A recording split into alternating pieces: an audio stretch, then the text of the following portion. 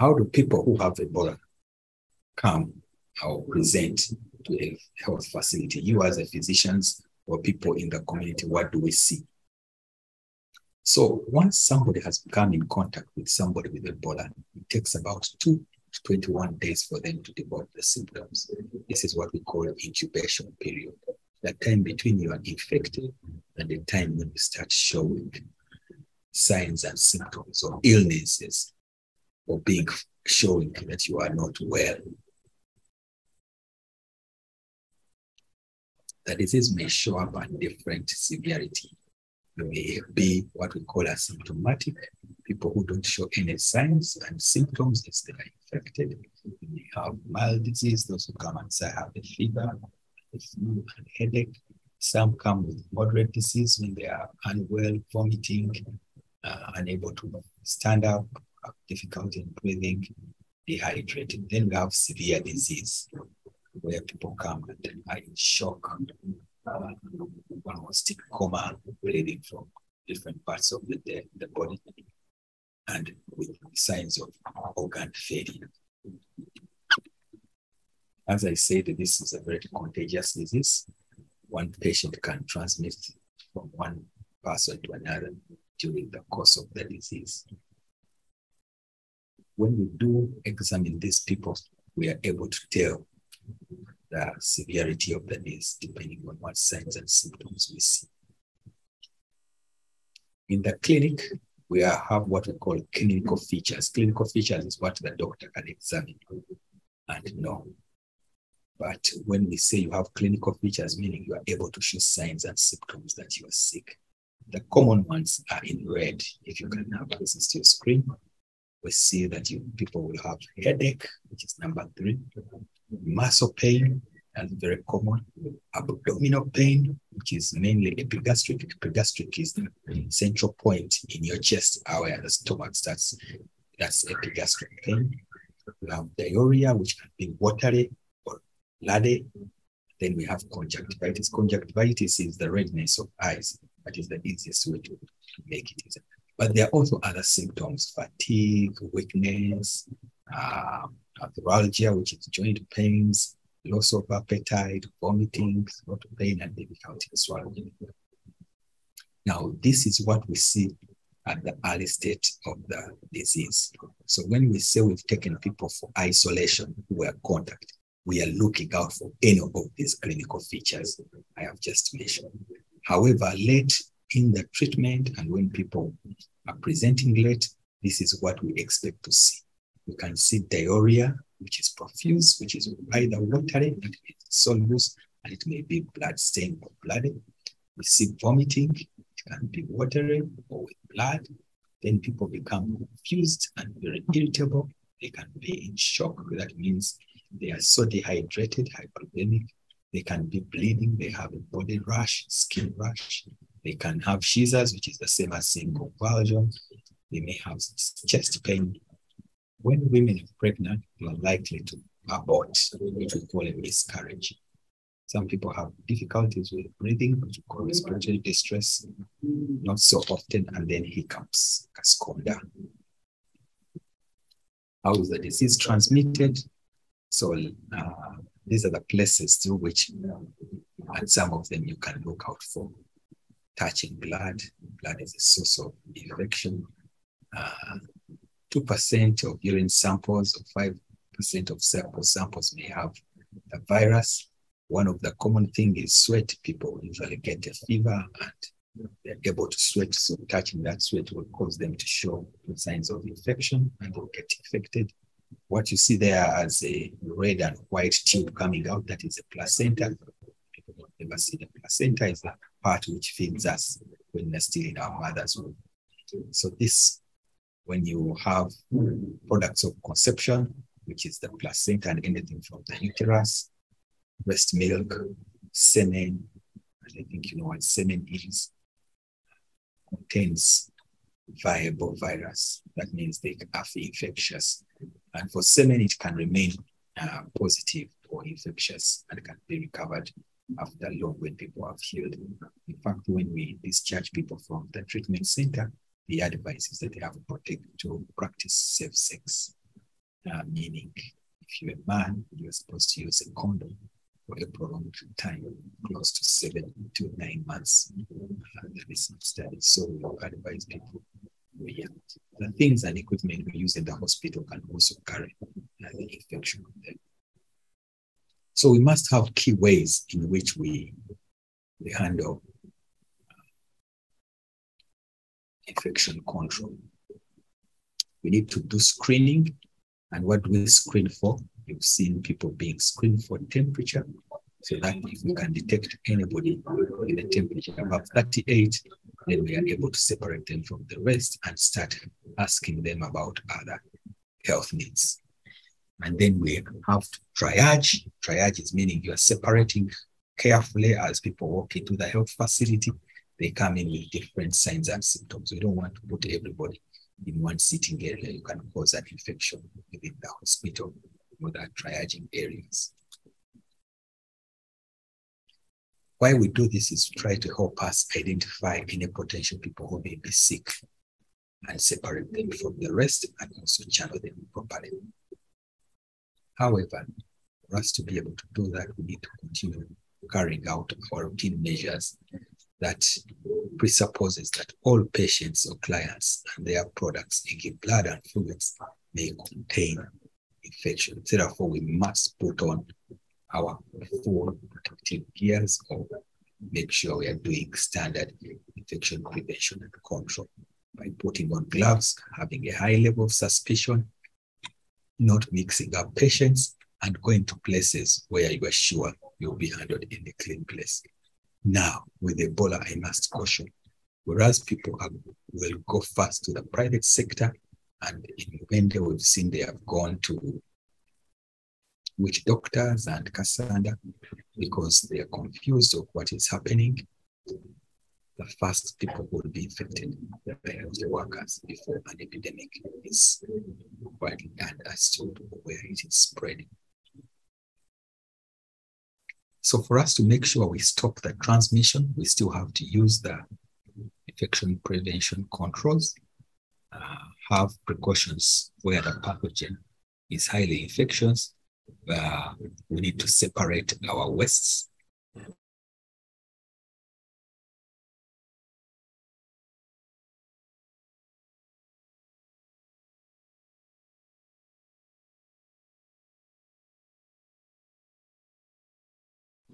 I think I was muted. Am I back? Hello? I need some feedback from you to know whether you can still hear me.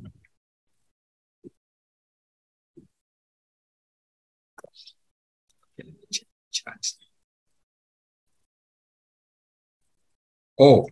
Hello. Yes, Hello. We can hear you. The voice has raised a bit, doctor. The volume was very low. Mm. Oh, please. The volume was very me. low, but now it's it's raising a bit. Okay. Is that any better? Please forgive me. I I, I wasn't. Way much out. better. Much. Okay. I apologize. Uh, I'm going to speak at this level going forward. I was saying that we need to stop transmission by isolating people or putting them in places based on their contact and risk ability. That's why you hear that once there is a person who has had contact in a family, we try to take them away from the rest of the population and take them to quarantine sites. And if you are alone in the home, then we can keep you in a home and advise you not to move away. However, when we do this, we've found that people do not actually uh, uh, obey or, com- or comply with the regulations. And it, it forces us to do other things that are not the previous way of handling initial people.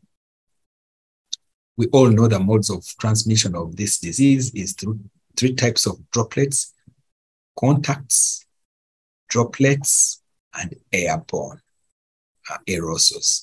So we make sure we do not come in contact with people's blood, saliva, or body fluids on our soft places.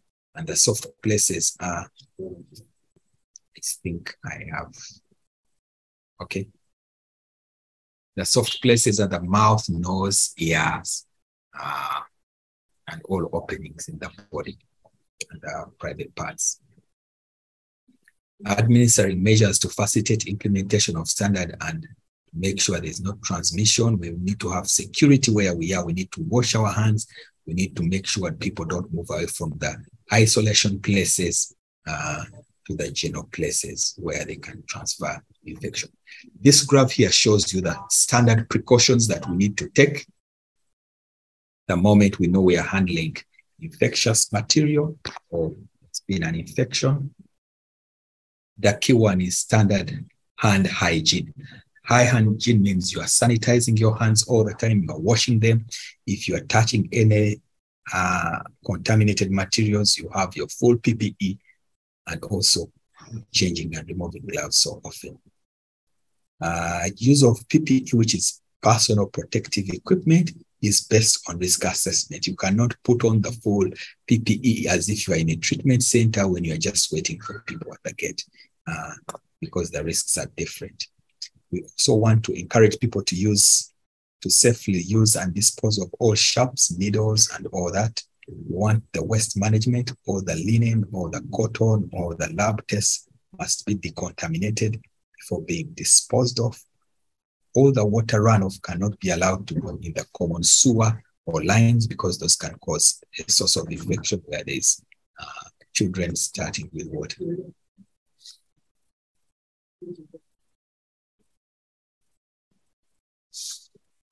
Um,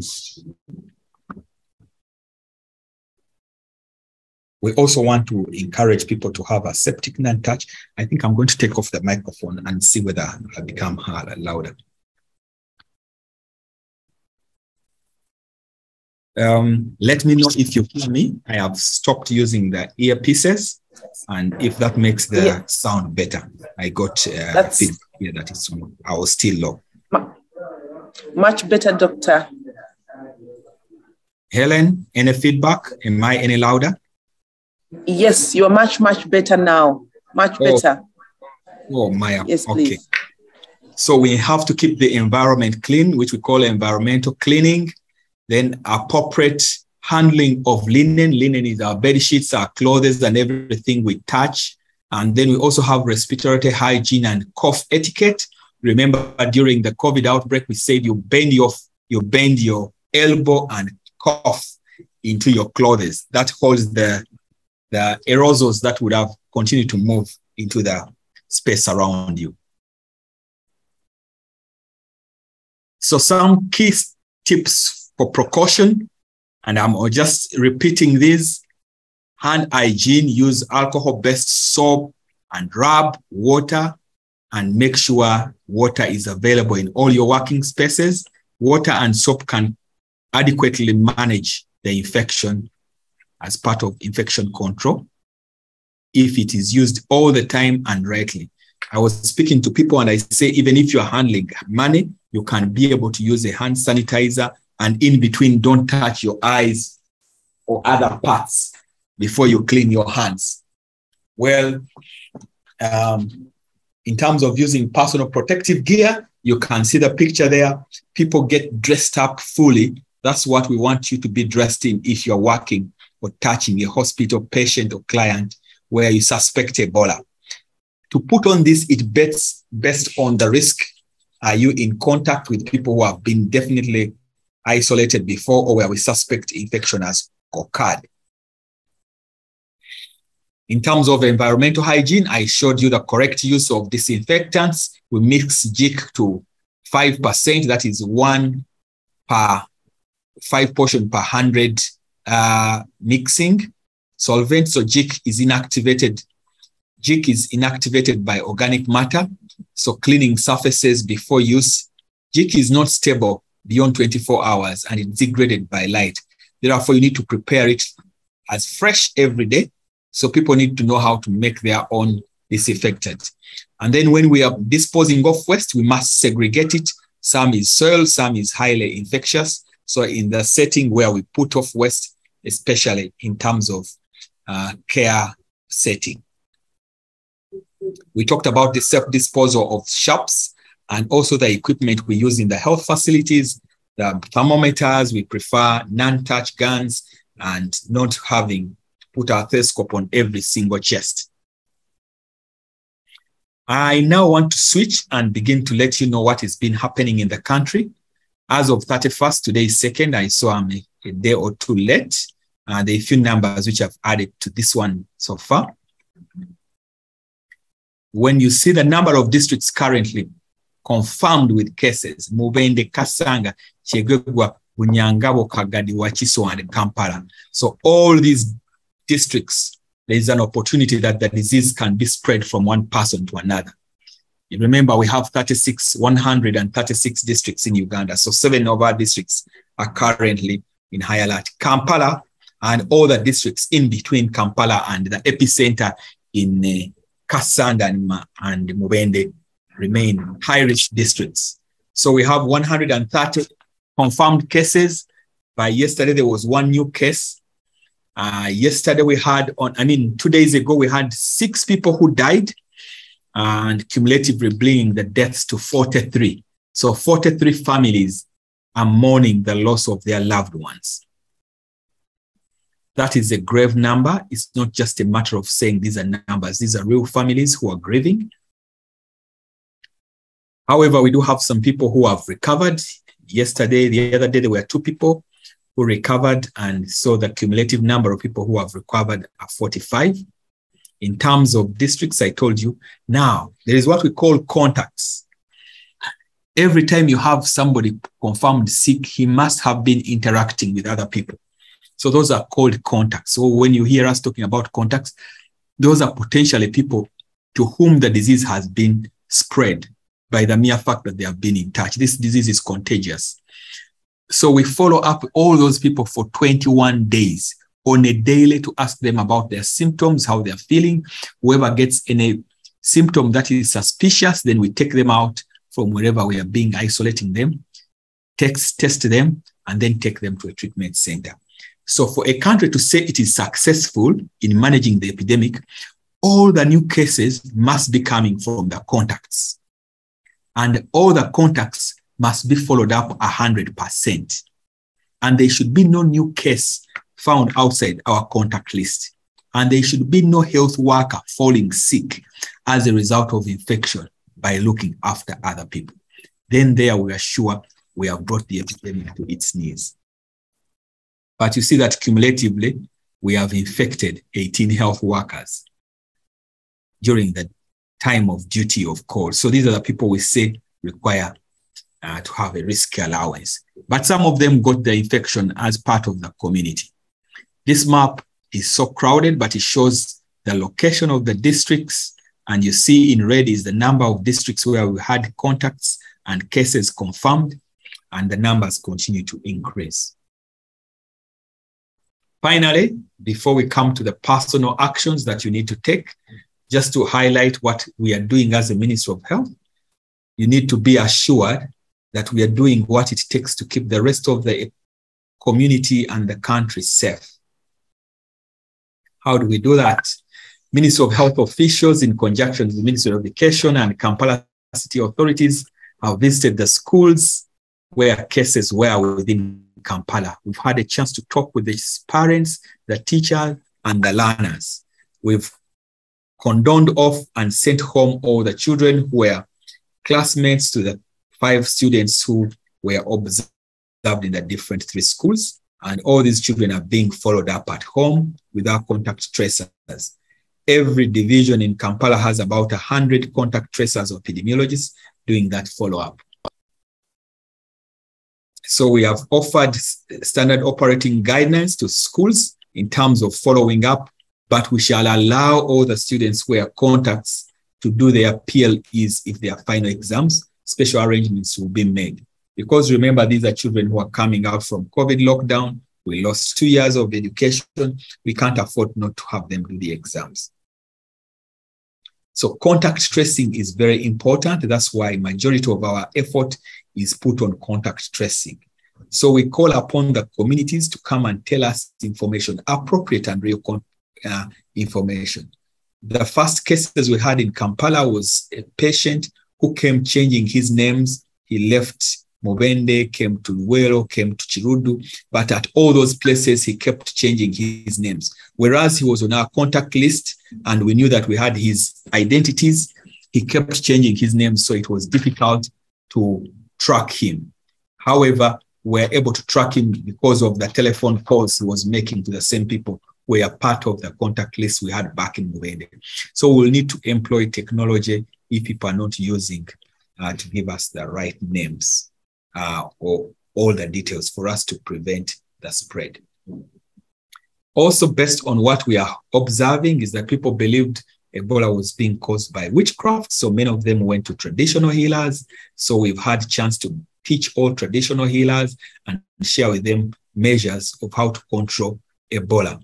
We've stopped and locked up all people who are practicing traditional healing and birth attendant, traditional birth attendants or skilled birth attendants in the community to spread that, stop the spread of disease. So they are on board to help us train and teach their colleagues. So we have also set up Ebola treatment units in the country.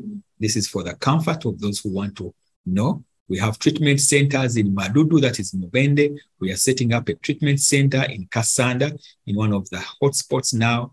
We have set up two treatment centers, one which is Entebbe Regional Referral, which you already knew as having been a center for treating of COVID, but now we've turned it for Ebola. And then we are constructing a treatment center in one of the fields in Mulago. But also in Mulago, near the former National Drug Authority compound, we have a 120 bed uh, isolation center, which will soon turn into a treatment center. So that isolation of contacts is done elsewhere. But currently, we have over, in fact, full board of the whole people we've known in Kampala as contacts are being isolated there.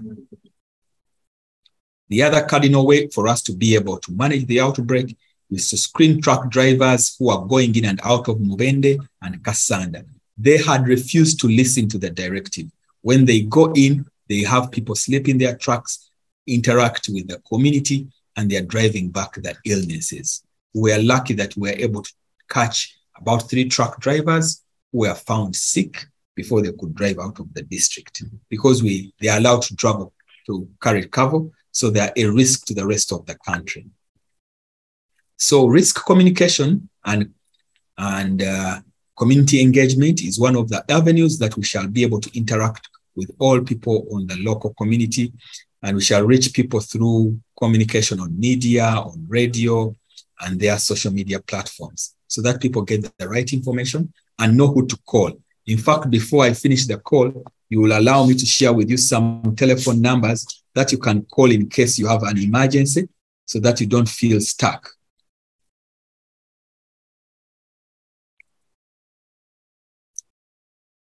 I think uh, that's enough information. I would have given you some details of Kampala, and I'm happy to tell you stories, but now I want to listen to you and hear your concerns and answer questions. Thank you, and over to you, uh, our moderators.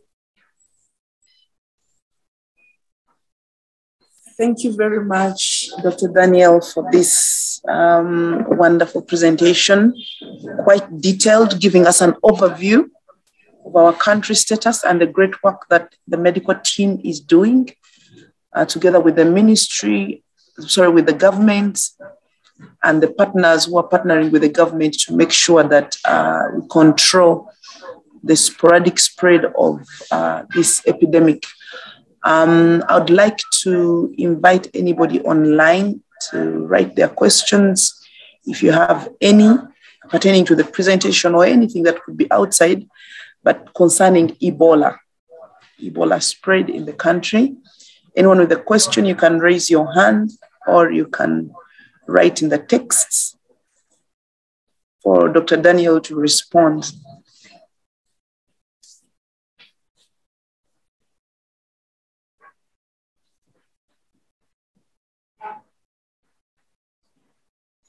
Any questions? Any comments? I think maybe you need to make them uh, panelists if they are going to be able, they need to be promoted to be able to ask. Um, yeah, there's a hand. There's a, there's a hand. Yes. Um, I heard something and I wanted the doctor to maybe dispel or confirm whether it's true. But uh, somebody was telling me uh, this was, you know, random talk with somebody, a client, that uh, Ebola cannot, by the time somebody is at a, at a, at the stage of uh, spreading the disease, is actually too sick to move. So he will probably be at home uh, or indisposed in some hospital and not able to actually come in a public area, uh, maybe to a workplace to, to spread the disease. Uh, is that something you can uh, confirm? That somebody to be able to transmit Ebola or to get to the stage where they can spread it uh, would not be would not be uh, mobile, freely mobile, and that means that uh, it it puts more of health workers at risk than um, the you know regular people maybe working in the offices. Thank you. Do I take that one, Helen, and then we continue, or as you wait for others? Yes, please take it on. We still have some other two here. Okay. Thank you, Mr. John Katende. To some extent, that information is closer to the truth. Not everybody who is sick will be unable to walk or move. But from all the infections we've seen, the people must come in contact with actually somebody already noted to be sick and seeking care. So, true all the infections are currently seen as part of home, home transmissions, people in the same house, okay, and people in the healthcare facility. That reinforces what you've just said. Whereas there is a doctor who moved from Bunyangabu, took a taxi to Fort Portal, took a border border into the hospital before he got all the major signs. We've not been able to find any infection along his trail. So, as long as you do not have signs and symptoms of sickness and illness, we have not been able to demonstrate that you are able to transmit or infect other people. So, that has helped us to confirm your suspicion that actually is critically or already sick people who are transmitting. The other way we could look at it is that in a school, in a school where the five students were, all their classmates are in quarantine. But because the, the three students never went to school on the day they felt ill, we have not seen any infections in the school. I'm building this to confirm to you that as long as somebody has not gotten any overt clinical signs, they do not infect others. So that's the chance for us to control this disease. Um, doctor, we have some other three questions here, uh, very interesting ones. And I would like to read them together for reasons that they sort of relate. Says, thank you, Dr. Daniel. This is from Lillian Accord. Thank you, Dr. Daniel. How do we go about handling this at workplaces? We did vaccinate our staff in those areas. Would it be proper then to extend the vaccination to other staff in the districts of Wakiso and Kampala? Then another related question is, is asking Dr. Daniel, thank you. Can you share about Ebola vaccination? Okay. Um, unfortunately, the strain called Ebola Sudan has no vaccine approved. There is a Ebola Zaire, which has a vaccine, but for Ebola Sudan, there is no vaccine. So whereas the people in West Africa benefited from research and the development of vaccines, so the outbreak gave it an opportunity for them to come to speed, we do not have any vaccine. However, there are three vaccine candidates, and we call it vaccine candidates. People will be doing trials or studies on those who offer to take the vaccine in Uganda. What we shall extend the protocols and the study design are being finalized in my country, which is Uganda, I think I, I speak a lot to people who are not in my country, um, is that we will vaccinate people who are contacts, what we call ring vaccination. When you become a contact, then you are offered a chance to be vaccinated. Or otherwise, for emergency use, we shall leave the vaccination to health workers. In terms of other treatments, we have monoclonal antibodies. These are only available in the United States, but they have offered to give us some so that we are able to vaccinate those who are critically ill. You know, we've had 18 health workers who fell ill. Those who were on duty uh, have been offered some of these high level experimental medicines and they have seen quick recoveries. However, we lost the first doctor who did an operation on a patient because the patient was bleeding. He thought was opening him up to stop a bleeding internally. It only turned out that this patient had Ebola. That was at the start of the epidemic in Mubende.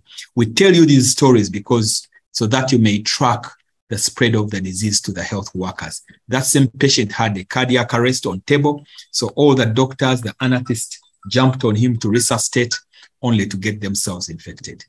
Of that cohort of uh, eight health workers, we lost two and the six are alive and discharged. We will also have another antiretroviral drug which will be used during this outbreak.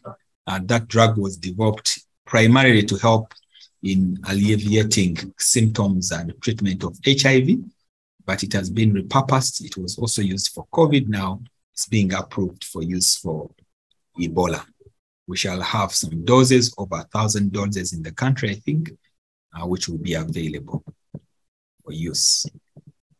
Thank you. Yes, Dr. Bell, there was an additional question on how do we go about handling uh, this at the places of work outside. I think you've spoken more about uh, protection at the place of uh, the health center. How do we go about this at our places of work? Uh, thank you very much. The places of work, because we expect for you to be able to have a temperature gun to screen everybody coming in for temperature to talk to your staff almost on a weekly.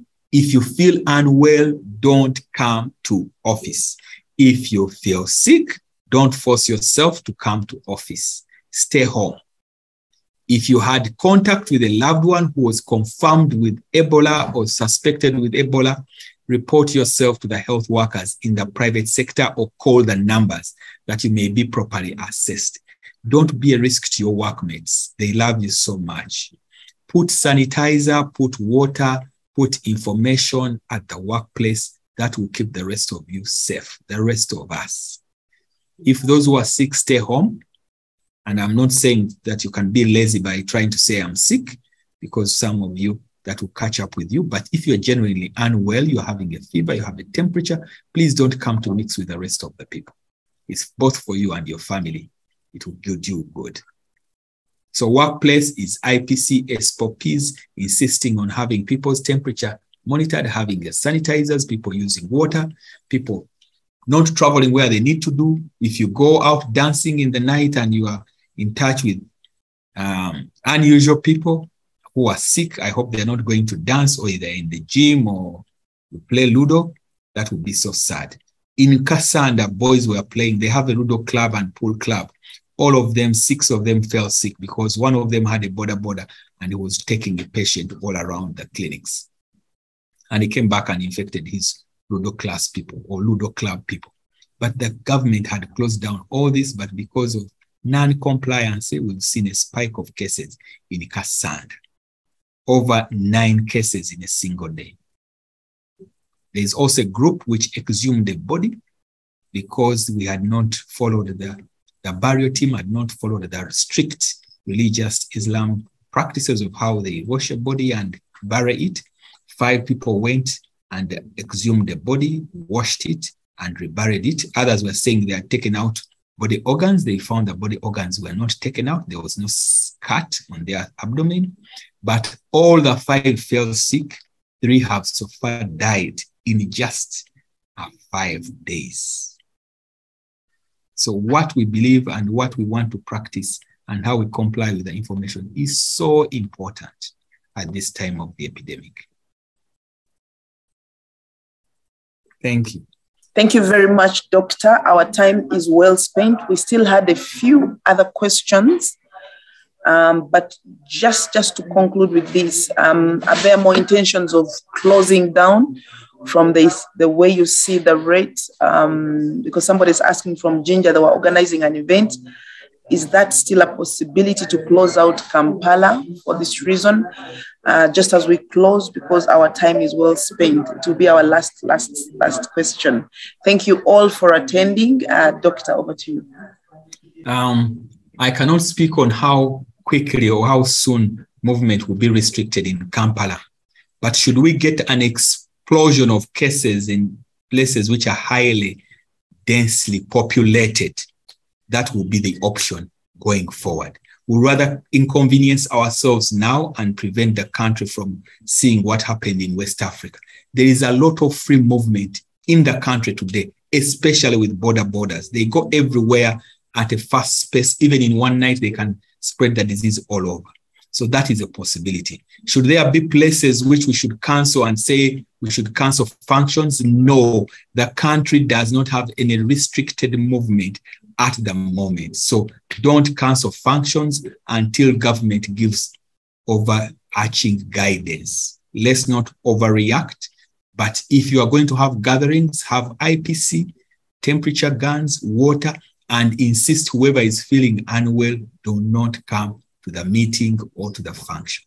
I think that will keep us a little sane and continue to monitor the message we are giving out. So, in a nutshell, we are not in a lockdown. We don't have restricted movement apart from uh, the places which were used, and all sanitizers and hand washing, including soap and Jik, can work as well.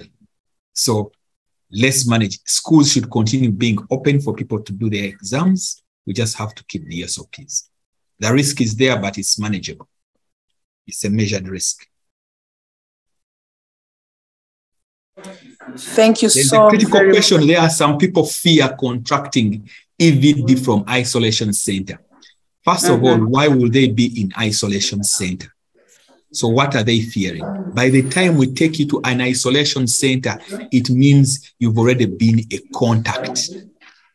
Now, if you say you are fearing to contracting a disease when you've already been a contact, I don't understand that double contradiction because we put you out because you've already been a contact. But when we put them in isolation center, we tell them not to mix. Everybody should keep to themselves because some people in the isolation center turn out to be negative and they're sent home. Others are actually contacts we've kept in isolation. They turn out to be positive and we take them to treatment center. So the fear is real, but you are already in a precarious condition if we are to take you to an isolation center. Don't run away from being taken from isolation center because you will die in the community and it will be too late. You will have infected your loved ones who come to look after you. Thank you, thank you, thank you, thank you, Dr. Daniel Kyabayinze, for this um, uh, presentation and an eye-opening about the country status, the efforts of the government, and what we have to stay cautioned for. I would like to thank everybody who joined this call. We look forward to another call yet with you and another update. I'd like to bring this to a close and uh, with appreciation from all, uh, from Martha, who helped us coordinate on the side of the ministry. Thank you so very much. Have a great day.